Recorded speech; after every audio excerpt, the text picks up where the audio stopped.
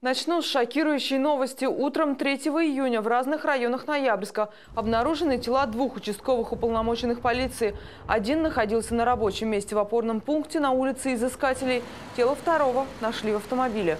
Позже в одной из квартир жилой пятиэтажки было найдено тело супруги убитого полицейского. Известно, что женщина погибла от огнестрельных ранений, причем стрелявший находился внутри квартиры. Жители дома сообщают, что на двери видны следы нескольких пуль. Сейчас э, на местах э, обнаружения работает э, три одновременно оперативно-следственные группы. группы.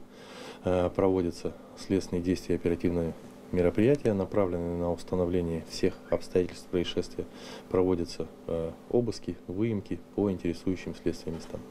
После гибели участковых проводится служебная проверка. Об этом сообщила глава пресс-службы регионального МВД Ирина Будькина. Она подчеркнула, что по предварительной информации трагедия произошла на почве личного конфликта и не связана со служебной деятельностью.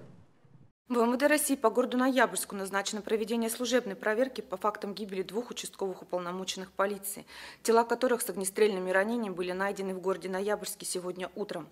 Кроме того, у себя в квартире с огнестрельным ранением обнаружено тело супруги одного из погибших полицейских.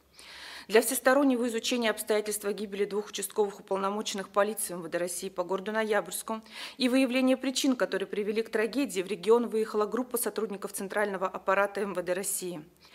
В рамках служебной проверки выясняются все обстоятельства произошедшего. На место происшествия работают следователи Следственного управления Следственного комитета Российской Федерации по Ямало-Ненецкому автономному округу, эксперты, Следственно-оперативная группа МВД России по городу Ноябрьску. В связи с большим резонансом в город Ноябрьск прибыл начальник МВД России по Ямало-Ненецкому автономному округу генерал-майор полиции Александр Иванович Чудовенко.